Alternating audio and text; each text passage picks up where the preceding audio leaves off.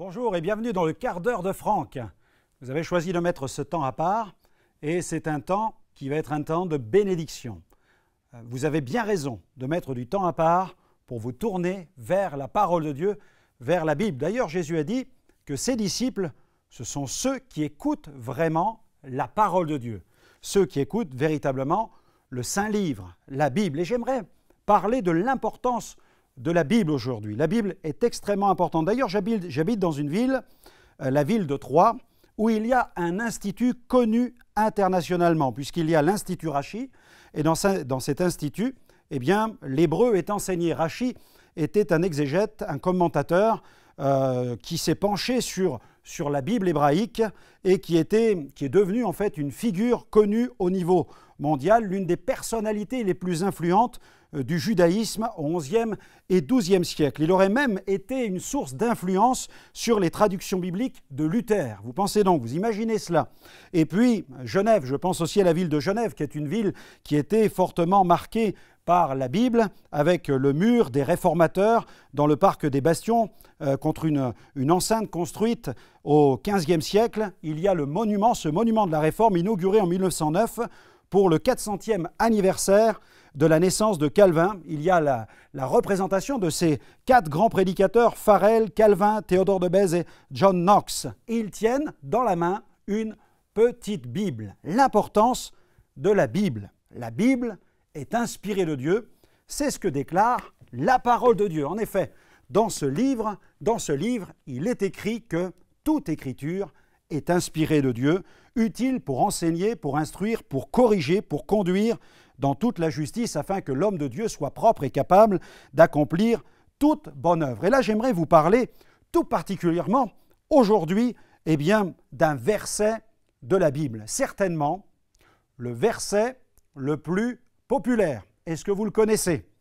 Le verset le plus imprimé, le plus publié, le plus prêché. Voilà, Jean 3, 16. Jean 3, 16.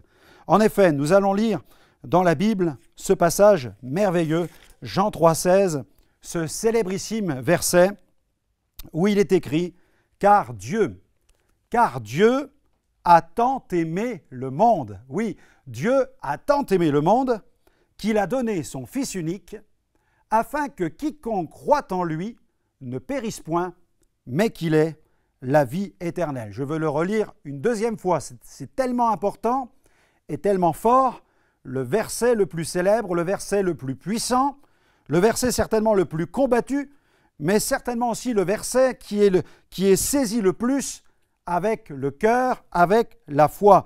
Car Dieu a tant aimé le monde qu'il a donné son Fils unique, afin que quiconque croit en lui ne périsse point, mais qu'il ait la vie éternelle. Jean 3,16. Jean 3,16. Ce passage merveilleux, un passage que j'ai tellement prêché, un passage que j'ai tellement offert avec, euh, avec des cartes postales, voilà, avec le verset dessus, Jean 3,16, mais aussi il m'arrive parfois eh bien, de l'écrire, comme il y a quelque temps dans un restaurant. J'avais l'occasion avec mon épouse de partager un repas dans ce restaurant et puis la demoiselle nous, nous avait aimablement servi pendant tout le temps du repas et j'en ai profité pour lui rendre témoignage, pour lui partager l'évangile et au cours du repas, eh bien, j'ai pris le temps de lui exposer l'évangile directement sur la nappe blanche en papier.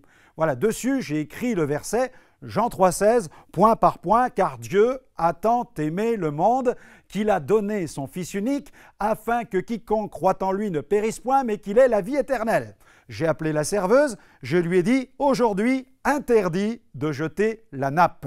Il faut la plier correctement, la glisser dans votre sac, et j'en ai profité pour ajouter aussi l'adresse de l'église évangélique la plus proche dans le quartier. Oui, Jean 3,16. Le verset, je l'appelle le verset en or, le golden text, comme disent certains, le texte d'or, le passage en or. Il est, il est précieux. Ce passage a une valeur inestimable. Des millions ont été sauvés grâce à ce seul passage de la Bible. Mais pour que ce passage ait de la puissance, pour que ce passage ait de la force, il ne faut pas seulement qu'il soit proclamé, pas seulement qu'il soit imprimé, publié, ou qu'il soit diffusé par des chaînes de télévision ou, sur la radio, il faut qu'il soit reçu. Est-ce que vous m'entendez bien? Est-ce que vous comprenez ce que je veux dire? Pour que la parole ait de l'efficacité, il faut qu'elle soit reçue dans le cœur. C'est de cette manière qu'elle peut produire dans notre vie une transformation. Car trop souvent, eh bien, nous essayons de faire rentrer la Bible de force dans la tête de ceux qui nous écoutent. Mais ça ne peut pas fonctionner de cette manière. Euh, la foi chrétienne n'est pas une, religion que l'on essaie d'inculquer avec une forme de radicalisme. La foi se reçoit avec le cœur, elle se reçoit avec amour, avec un désir profond d'être dans une communion personnelle avec Dieu, d'entrer dans cette relation personnelle avec le Père, de recevoir Jésus comme ami et la Bible est le message qui va nous conduire dans cette relation intime avec le Père céleste et avec Jésus, notre Sauveur. Gloire à Dieu. C'est une bonne nouvelle, n'est-ce pas? Vous ne croyez pas? Nous avons besoin d'un tel message. Quand nous écoutons la radio, quand nous regardons la télévision, les médias en boucle nous servent des informations tellement, tellement angoissantes. Mais lorsque nous ouvrons la Bible, eh bien là, nous lisons ce passage extraordinaire où Dieu nous dit qu'il est amour, où Dieu nous dit qu'il nous aime, où Dieu nous dit qu'il veut nous transformer. Oui, car Dieu a tant aimé le monde. Il a donné son Fils sur une croix pour nos péchés. Voilà, il nous faut croire en lui et le recevoir.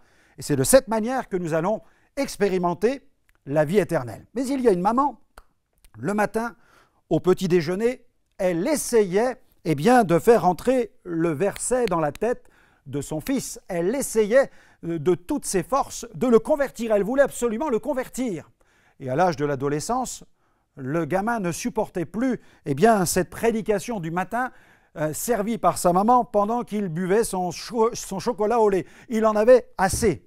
Et dès qu'il a pu, il a pris ses petites économies et il a fugué. Il est parti.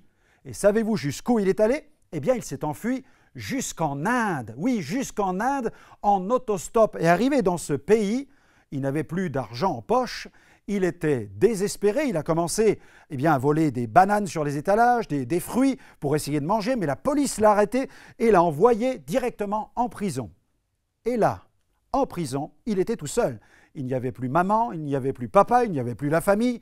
Il était là tout seul au bout du monde, désespéré et tellement angoissé. Il était eh bien, allongé, allongé sur une natte à même le sol, dans une prison indienne qui n'a rien à voir avec nos prisons, les prisons que l'on peut, peut avoir en Europe de l'Ouest.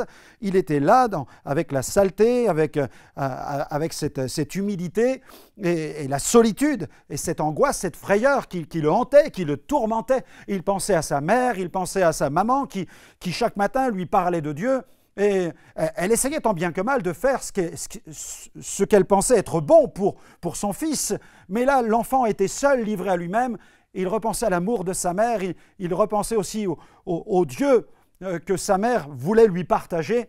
Et lui, il était désespéré. Et il, est, rentré en lui-même et il cherchait, il pensait au sens de sa vie.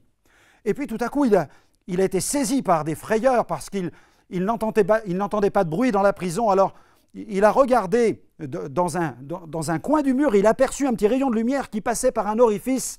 Il y avait comme un, comme un trou dans le mur. Alors, en rampant rapidement, il s'est approché et il a regardé par l'orifice pour voir s'il y avait quelqu'un dans la cellule d'à côté. Mais il n'y avait personne. Il n'y avait personne, mais il pouvait apercevoir sur le mur d'en face, vous savez, tous ces traits que font des prisonniers pour compter le nombre de jours qu'ils ont passé dans la cellule. Et il pouvait apercevoir des centaines et des centaines de traits. Et tout à coup, la terreur l'a submergé. Il, s'est dit, mais peut-être vais-je passer des, semaines, des mois, peut-être même des années dans cette prison et on va m'oublier dans ce pays. Il était désespéré. Quand tout à coup, en regardant par l'orifice, par ce petit rayon de lumière qui venait de l'atteindre, en regardant par cet orifice, il aperçoit, eh bien, sur le mur d'en face, parmi tous ces traits, parmi toutes ces saignées faites dans le mur, il aperçoit des lettres et des chiffres, et devinez, il s'agissait des références de la Bible que je viens de vous partager, Jean 3, 16. Oui, là, au bout du monde, face à lui-même, dans cette solitude, face à cette profonde détresse, ce jeune garçon était maintenant confronté au message de l'Évangile Ça n'était plus sa maman qui essayait de lui faire rentrer la Bible de force dans la tête, mais c'était l'amour de Dieu qui se manifestait vers lui, pour lui, avec une telle tendresse, Dieu qui était en train de lui dire, je te vois dans ta détresse, je te vois dans ta solitude, je te vois là, avec les larmes qui coulent sur ton visage, je te vois dans ta souffrance, je te vois dans, ta prison, dans ton enfermement, je te vois là et je t'aime et je te dis aussi, comme ta mère, je te dis, oui, Dieu a tant aimé le monde qu'il a donné son Fils unique, afin que quiconque croit en lui ne périsse point, mais qu'il ait la vie éternelle. Là, c'est le Père céleste. Maintenant, c'était ce Père céleste qui était en train de se, de se révéler à lui pour lui dire que Dieu l'aime. Et ce verset est tellement simple. Ce verset est tellement simple à retenir, à mémoriser, à apprendre et à vivre. Oui, le premier point est simple, car Dieu a tant aimé. Dieu a tant aimé. Ce, ce verset nous dit que Dieu aime le monde. Et Dieu a créé le monde, mais il aime le monde. Il nous a créés libres par amour. Il nous a créés libres par amour. Avec cette, cette, capacité de choisir, de faire le bien, de faire le mal, de croire en Dieu ou de ne pas croire en lui. Nous sommes libres. Et là où vous êtes en train de m'écouter pendant ce, ce quart d'heure de bénédiction, eh bien, vous pouvez très bien embrasser la foi, recevoir Jésus, aimer votre Père céleste, recevoir Jésus comme votre Sauveur et Seigneur, mais vous pouvez très bien aussi dire, non, non, je n'en veux pas. Je ne veux pas de Jésus. Je n'en ai pas besoin. Je veux mener ma vie tout seul, sans Dieu, sans Sauveur. Je veux, je, veux marcher dans cette vie et, et avancer tout seul dans ma destinée. Vous en avez tout à fait le droit. Mais le physicien nucléaire Serge Tarasenko avait l'habitude de dire Dieu ne se prouve pas, il, se rencontre. Et je ne suis pas là pour donner des preuves de l'existence de Dieu. J'en ai la preuve parce qu'il a changé ma vie. Mais je suis là simplement pour vous dire qu'il veut venir dans votre vie pour transformer votre existence. Oui, Dieu a tant aimé le monde qu'il a donné. Ah, vous vouliez une preuve? Eh bien, la Bible dit, Dieu prouve son amour envers nous. Alors que nous étions encore des pécheurs, Christ est mort pour nous. Voilà la preuve. Dieu est amour et il a donné Jésus. Et Jésus a donné sa vie sur la croix pour nos péchés. Il a fallu qu'il meure. Parce que Jésus nous aime, Dieu nous aime. Dieu est amour, Dieu est saint et Dieu est juste. Oui, parce qu'on pourrait présenter un Dieu qui aime et qui est tolérant, qui accepte tout. Non, Dieu est amour, mais il est aussi saint. Et parce qu'il est saint, il ne peut pas tolérer le péché. Comme il ne peut pas tolérer le péché, il est obligé de le condamner. C'est pourquoi il est juste. Et il a manifesté sa justice à la croix en envoyant Jésus donner sa vie pour nos fautes. L'acte de justice, l'acte de condamnation a été rendu à la croix. Jésus a pris sur lui notre condamnation afin que nous recevions la grâce sur notre vie. C'est extraordinaire. Là où vous êtes, la grâce de Dieu, Dieu désire la déverser dans votre cœur. Le texte dit, car Dieu a tant aimé le monde qu'il a donné son Fils unique, afin que quiconque croit, afin que quiconque croit en lui ne périsse point, mais qu'il ait la vie éternelle. Oui, la Bible dit encore, le salaire du péché, c'est la mort. Voici les dividendes, voilà ce que le, péché vous rapporte, c'est la mort. Mais le don, le don gratuit, le don gratuit, le don gratuit de Dieu, c'est la vie éternelle en Jésus-Christ. De toute évidence, face à la Bible, il y a deux destinations possibles. Il y a cette vie éternelle avec Dieu et il y a une vie dans l'éternité sans Dieu, où nous poursuivons notre existence angoissée dans une éternité d'angoisse. Mais lorsque nous recevons Jésus, alors nous recevons le Prince de paix et nous poursuivons notre existence dans l'éternité, dans le royaume de la paix. Là où vous êtes, vous pouvez en faire l'expérience. C'est possible que vous soyez bouddhiste, que vous soyez hindou, que vous soyez musulman, shintoïste, taoïste, athée, agnostique, peu importe, car Dieu a tant aimé le monde, ce qui signifie tous les hommes, qu'il a donné son Fils, afin que quiconque croit dans ce Fils, il a la vie éternelle. Là où vous êtes, c'est possible de recevoir Jésus. Le verset en or, il est pour vous. Je dirais presque, Aujourd'hui, c'est cadeau, c'est cadeau. Dieu désire vous donner cette vie éternelle. Dieu désire vous donner cette vie en Jésus. Là où vous êtes, ce verset en or peut devenir la plus riche, la plus immense bénédiction dans votre existence. C'est pourquoi je vous invite à recevoir Jésus. Là où vous êtes maintenant, c'est possible. Jésus vient dans ma vie. J'ai entendu la parole de Dieu aujourd'hui. Et cette parole me, touche tellement. Cette parole me bouleverse. Cette parole me convainc que Jésus est mort sur la croix, alors maintenant je ne veux plus résister à l'appel de Dieu, mais Jésus viens, pardonne mes fautes, change mon cœur, donne-moi un cœur nouveau, donne-moi une, vie nouvelle, transforme mon existence. Amen. Eh bien voilà, tu viens de faire la, plus belle des prières, la plus simple finalement, mais la plus efficace. Parce que maintenant, tu marches sur le chemin d'une nouvelle destinée. Il te suffit maintenant de te procurer ce livre. Tu as besoin de la Bible, la parole de Dieu, ce livre qui contient les plus glorieuses promesses. Marche avec le Seigneur et tu peux compter sur nos prières. Nous prions pour tous ceux qui écoutent ce programme. Que Dieu te bénisse et à très bientôt. Viens me retrouver dans les prochaines émissions.